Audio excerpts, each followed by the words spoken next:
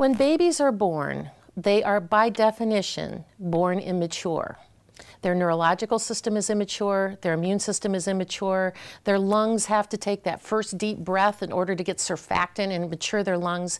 So, from the moment of birth and that first deep breath, there are an enormous number of cascades that have to happen in order, in order for all of the systems to be go and to click on all of the buttons. It's like launching the um, space shuttle off of the pad. All of the systems have to be go.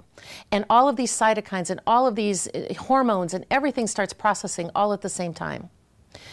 What we do to these newborns is within minutes of birth, they're exposed to latex. They're exposed to uh, vitamin K shots, a vitamin K shot that is given uh, almost immediately after birth it, on the outside chance that a very rare uh, blood disorder might be happening in this baby. It has nine milligrams of benzyl alcohol, and there have been reports in the in the pediatric literature, particularly the Canadian pediatric literature, that thinks that it's that vitamin K shot that's given right at birth that leads these children, many of them, down the pathway into jaundice, and they have kernicterus and all these different problems because their liver is not meant to handle that big dose of alcohol as soon as they're born.